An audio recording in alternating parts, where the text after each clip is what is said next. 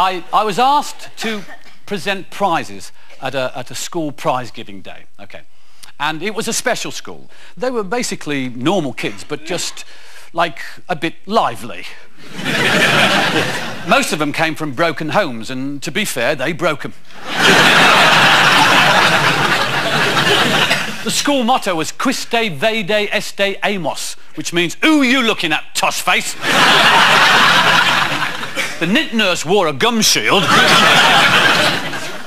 And uh, I got there, and this teacher came up and said, uh, have you got anything sharp or pointed on you? I went, oh, oh no, no, no. He said, oh, best have this.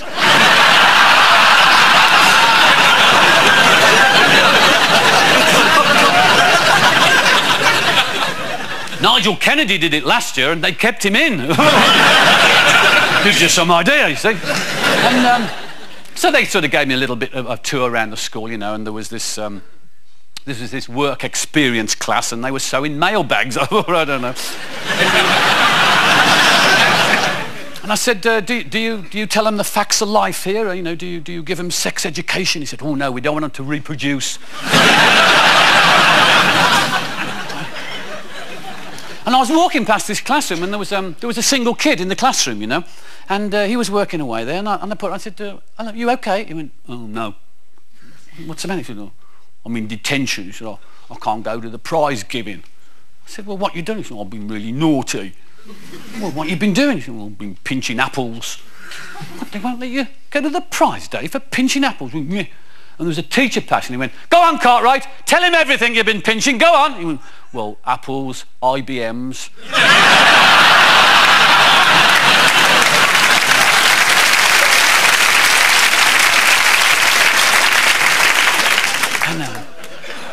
The teachers were brilliant. They got through so much TCP. Tea, coffee and Prozac. and one of them had decided it would be a really good idea to hire a magician to entertain the kids before the prize giving. He, well, he must have had a, an aberration, that's all I can say, because it was Uncle Marvo. He hadn't got a clue. He never knew what hit him. Uncle Marvo gets on and goes, Hello, boys and girls. Hello, it's Uncle Marvo. Yeah.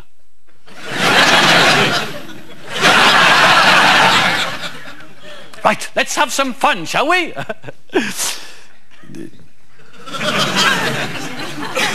Me rabbit's gone. and the teachers as one went, Brian! and Brian came up with his rabbit, you know, and Brian was going, ah, ah, ah,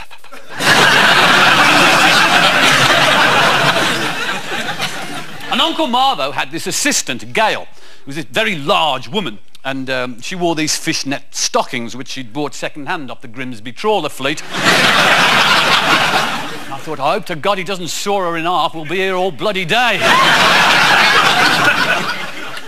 So Gail goes out into the audience. She gets this little girl, you see, and, uh, and she's about nine or ten, and she brings her on stage. And Uncle Marvo says, hello, and what's your name? Mandy. Oh, Mandy, that's a nice name, isn't it? Uh, would you like to do a card trick, Mandy? Have you done one before? No. Oh, right. What I want you to do, I want you to think of a card. Could you think of a card for me? Right, but don't tell me. Now, you're going to tell me eventually what the card you're thinking of is, and when you tell me, it's going to pop out of this pack, it'll spin round, I'll catch it, and I'm going to give it to you. That'll be magic, won't it? Hmm. right, tell me your card. Mr. Bun the Baker.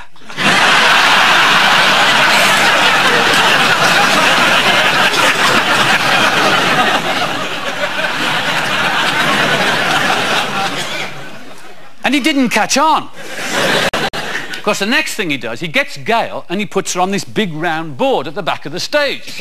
He said, right, boys and girls, I'm going to throw these knives at Gail. and Gail is so brave, she won't move. Right. There were four knives in the board before he threw the first one.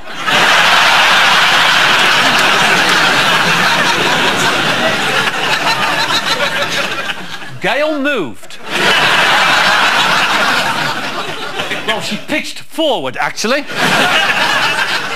And I thought, I hope he doesn't do that trick where he has to catch a bullet between the teeth. So they get rid of Uncle Marvo, and then it's the prize giving, which is fairly straightforward. And um, it's great. Yeah, and the teachers do try very hard to meet the kids halfway to teach them something that will be useful when they leave school, you know. And there was a prize for best ransom note. And a prize for best attendance, uh, which is probably least truancy. Uh, but the winning kid didn't turn up. and and then at the end, they're great. I mean, and, and these kids are tre tremendous kids. They, I mean, you know, they're, they're a bit wild, but I mean, they, some of them are geniuses. They have these, you know, these genius things that, you know, that, that teachers are trying to encourage them. There was this one kid called Mark who was brilliant at etchings. And uh, I had to go and see this etching. He was determined to show me this etching, you know. And it was incredible. He'd, he'd, he'd done this etching of the, the skyline of Birmingham city centre, you know, with, with the rotunda and the bull ring and got all the, all the windows in and all the angles. It was fantastic. It was intricate detail. It was a wonder to behold. Unfortunately, it was on the side of my car. you start to appreciate your own kids when you've been to somewhere like that, you know. And um, I suppose when I was at school, it was so different. I, I don't want to get into nostalgia here uh, because I just think the most embarrassing people that I meet right now are people who go on about how wonderful the past was. and uh, which uh, I have to bite my lip here because I don't think it was. And um, in fact, when I'm down here in London, I can't believe the stick Peter Stringfellow gets. You give him terrible stick down here. And uh, I mean, well, he's, he's a bloke who's my age for a start, you know. And, and it's always, hey, that Peter Stringfellow, hey, blimey, hey, bloke his age running round in Ferraris, all them page three girls, hey, stuffing caviar down his throat, quaffing champagne, he's sad. no, he isn't. He hasn't been sad since 1976. Blokes of his age, five times a night, normally means going to the lav. Wouldn't like to be him in the morning. He never wakes up in the morning. He never gets up in the afternoon. He sees less light than a potholer. I've got trousers older than his girlfriend. well, underpants if you pushed it.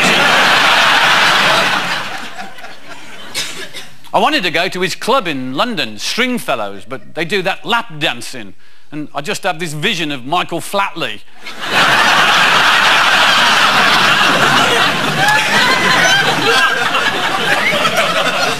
All those people going, hey, Oh, the 50s, what a great decade that was, eh, Jasper? Hey, we didn't have locks and bolts on the doors in them days, did we? We didn't have locks and bolts, no. There was sod all worth nicking, that's why. Six months in jail trying to pinch a mangle? Going down the pub, I've got this mangle here. Oh.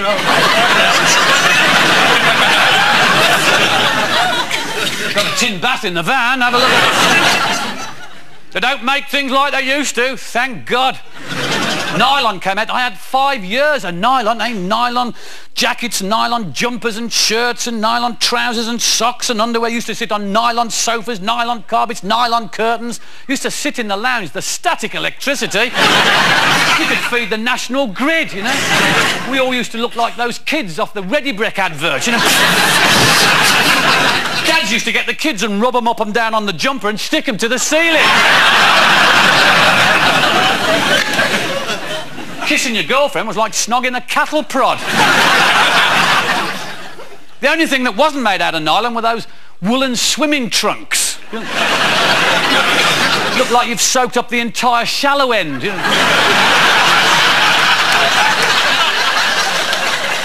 And entertainment, oh, don't give me that. Eh? I mean, Superman, I mean, we used to believe in Superman, for real. Oh, yeah. I mean, Superman used to do all these wonderful things all over the world. He'd be on every newspaper in the world. He'd be on television. And all he did was put a pair of glasses on and you couldn't recognize it. How stupid can you get, you know? It makes you wonder about Chris Evans, doesn't it? but if he takes his glasses off, he's Mo Mowlam. and the Lone Ranger, the Lone Ranger and Tonto. I'm sorry. he used to wear a mask so no one would recognise him. He used to wear a mask and a white hat and a silver horse, Tonto going around with him everywhere, and he didn't want to be recognised. if he took his mask off, he must have had the most ludicrous suntan. Who's that panda sitting in the corner? and Stingray with that mermaid, aquamarina. eh? what a figure. 38, 24, 7 and 6 a pound. Yeah. And films, films had no realism. They were so bland, you know. You, never saw Cary Grant coming out the bog and saying to Doris Day, I wouldn't go in there for a couple of minutes.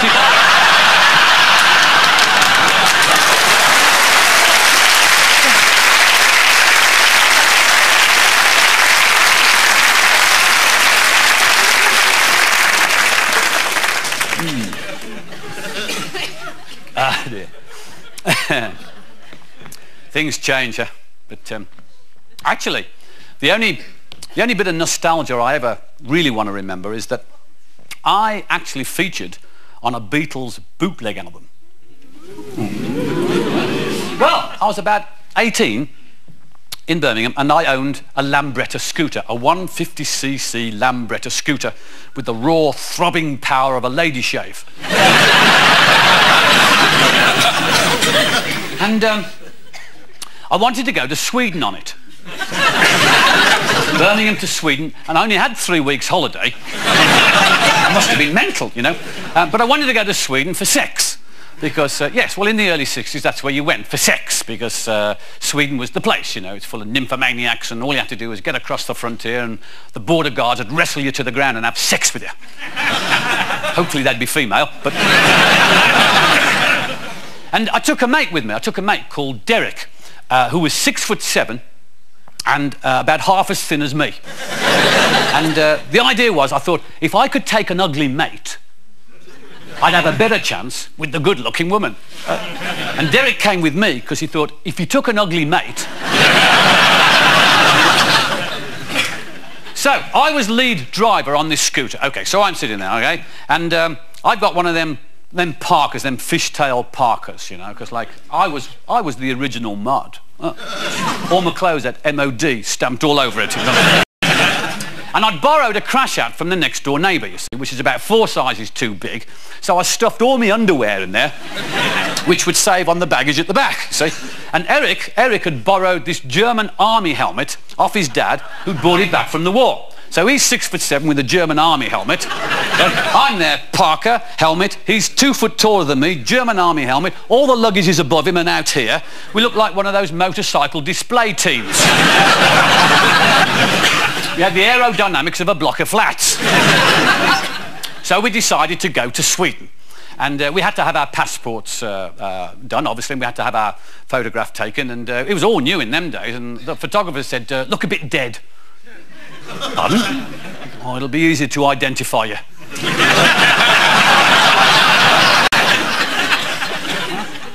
um, and when we were filling those forms in for the passports, where it says next of kin, Derek wrote down Gene Pitney. He said, well, his mum's a big Gene Pitney fan, got all his records and never met him. You know? And if anything did happen, well, Gene Pitney breaking the news would sort of soften the blow. this Gene, this image of Gene Pitney ringing his mum's door and his mum opening the door going, Gene Pitney, ah, oh, your son's a bit, uh, oh, come in and have a cup of tea. so we start off, we start off, and um, from Birmingham, and we're in the street, and all the street, all the street are waving us bye-bye, you know. And we're going to Sweden. This is a big deal in the early 60s.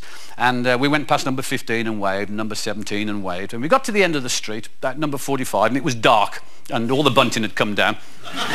but we're going as fast as we can. And it took us four hours to get to the beginning of the M1. Right? And it was pouring rain because the, the more rain that we soaked in, the slower we got. So we got onto the M1 in those days and uh, we were travelling now about 33 mile an hour, uh, and I managed to slipstream a lorry. And so we went up to 37 mile an hour. and then this other lorry comes up behind us and jams us in. I, and they thought it was a great laugh, you know. Where the hell we were going, I hadn't got a clue. and every time I tried to get away, Derek wouldn't let me because the heat from the engine was keeping him warm. so we get down to London, and we get hopelessly lost. Hope we haven't got a clue where, you know, what London's about. And I'd see this car with a GB plate on, and I thought, ah, he's going to Dover. It's the way you thought in the early 60s. So I followed him, and about 10 minutes later, he turned into his drive. this is not Dover Docks, is it, you know? So then, then, 3 a.m. in the morning, we are lost in Soho, okay? We are lost in Soho. And I never forget going past the Peekaboo Club, okay? There's me with this sodden bloody thing around me and, and my hat and uh, all the underwear dangling down, you know, and Eric with his German army helmet. And two ladies of the night, who were fairly desperate, obviously, looking at us and going, Looking for a good time, dearies? And Derek said, No, Dover.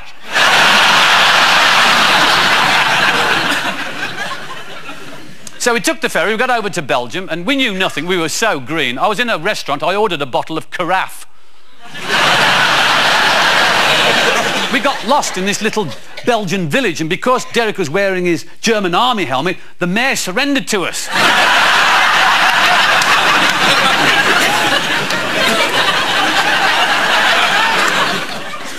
to get back to my original statement, thank you. Um, yeah. We decided we were going to give Sweden a miss, you know. And uh, we thought, well, by the time we got to Sweden, we'll have probably gone through the male menopause. so we abandoned plans for sex in Sweden, and reverted to plan B, which was Hamburg, the Reeperbahn. And it's Hamburg's equivalent of Soho. It's this big, long street full of red lights.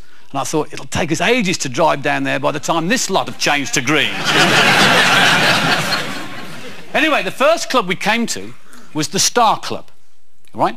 And we went in, and on stage was this group called the Beatles. We hadn't got a clue, never heard of them. And anyway, I'm too busy staring at this big-bosomed, near-naked Fraulein. Uh, but what's more, she's staring at Derek. I can't believe it. She starts to take Derek, the ugly one, by the hand upstairs. Obviously, I know what she's after. that's why if you listen very carefully on the Beatles bootleg album, you'll hear Get your hands off Derek's helmet!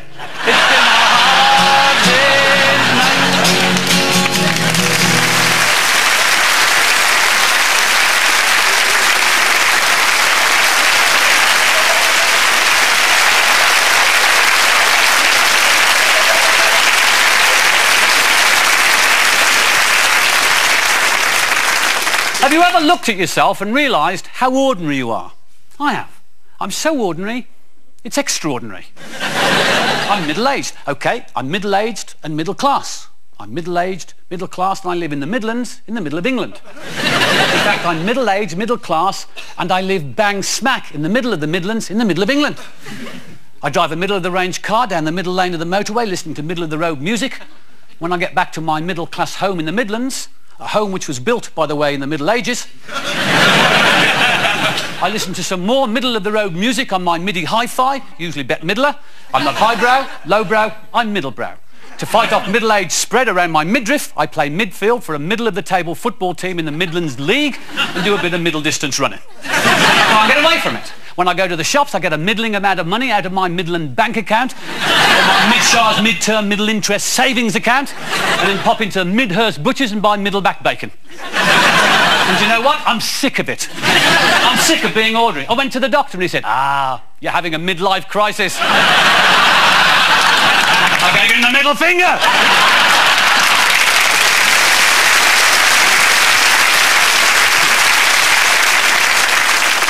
But when you get to my age, you start to see things in a different way.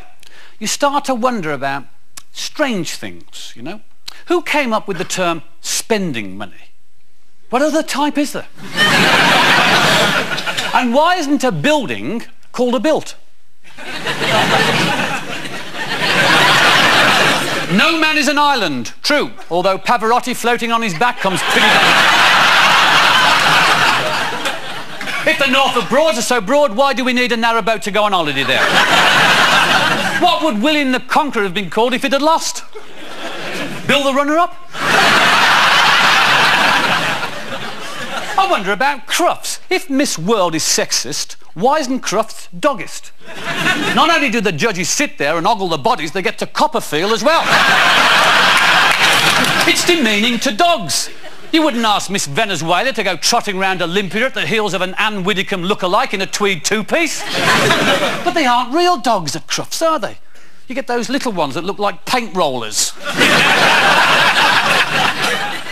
and those big, sleek Afghans with the long, flowing blonde hair and the lovely eyelashes. I saw the best of breed winner last year and I actually fancied it. and why is it when you buy dog food, you always buy the flavour you like?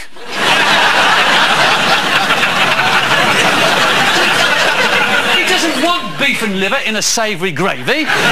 he wants cat-flavoured chunks of postman's leg.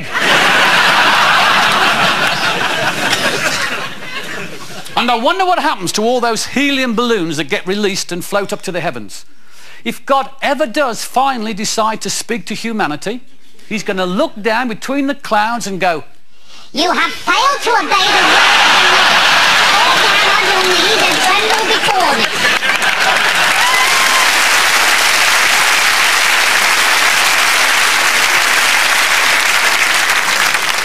I wonder if there is life after death. What? is that, Grandad? Apparently there is. I wonder about Star Trek. I saw Star Trek 4, The Final Voyage. Kirk and Spock had just been beamed through time into an intergalactic antimatter converter where they wrestled with space mushrooms that wanted to destroy the Earth with killer pollen. And at the end, it had that caption that says, any similarity to persons living or dead is purely coincidental. Which brings me to the royal family. the Prince of Wales, he wants to save the planet. Yes, which one, his or ours? and what does the Queen expect anyway? Of course you're going to have trouble with your kids if you name them all after pubs.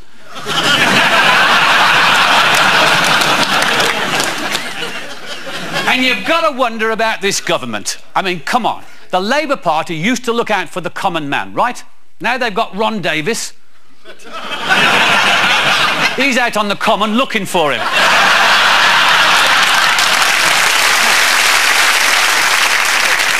I don't believe that Tony Blair and John Prescott are actually best mates. I just can't imagine the Prescotts going round to the Blairs for dinner without Cherie Blair putting newspaper down. the Prescotts are that sort of couple you meet on holiday and they say, we must keep in touch. and they do. I bet Tony Blair has briefed that copper who stands outside number 10. If you see someone approaching who looks like a bull mastiff with a beer gut under each eye, I'm out. Obviously, Mrs. Prescott must find him attractive. But there again, men and women see sexuality in many different ways. For example, it's a well-known fact that women are at their sexual peak at 30, whereas men reach it during any episode of Baywatch. and men have sex at the drop of a hat, which admittedly is great fun on a windy day at Royal Ascot. and of course, women don't suffer from premature ejaculation. Well, neither do men. It's not premature for us, it's bang on time.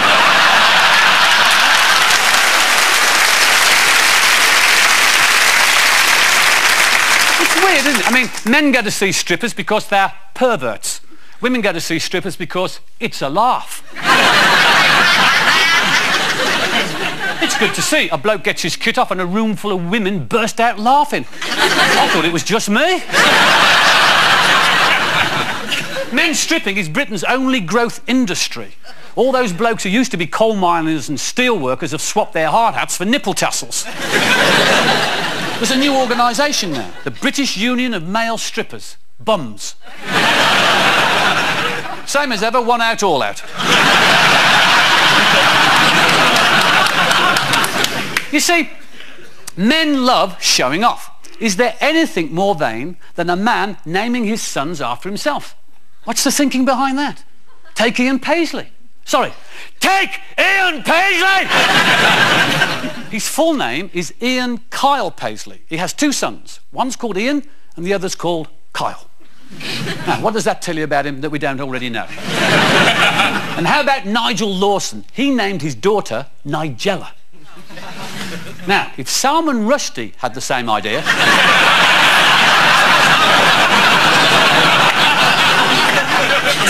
Salmonella, you see. What possible excuse is there for giving your kids the same name as you? There are hundreds of books of names. All your friends have got suggestions, plus whatever TV shows and movies are around at the time. If you don't believe me, ask my daughters, R2-D2 and Obi-Wan Kenobi.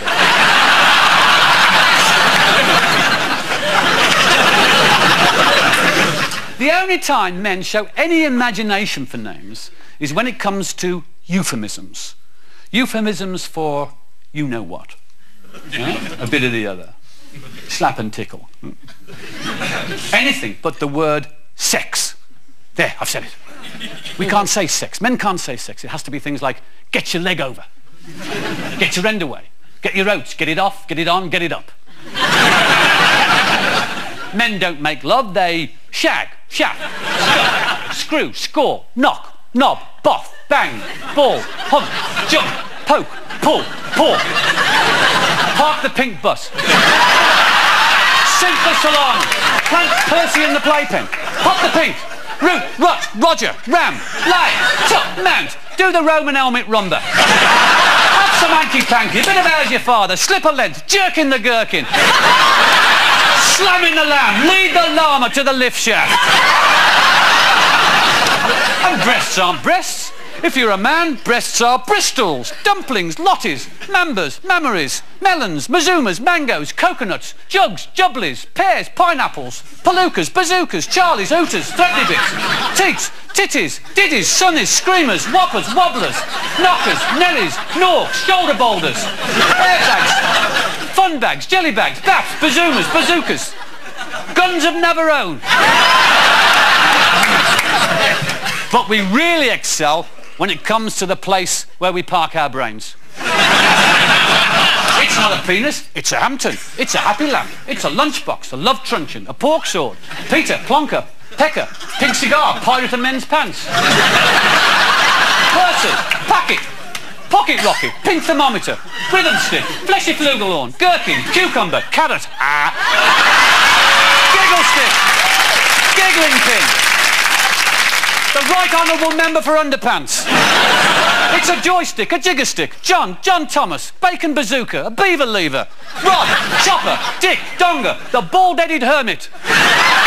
Dawnhorn, dingaling, wick, weapon, wanger, wedding tackle, manhood, member, high-pressure vein cane. old man, old fella, one-eyed tracer snake, a phallus, love sausage, captain sausage, Mr Stiffy, Tadger, Todger, Wang, Weenie, Spurt Reynolds.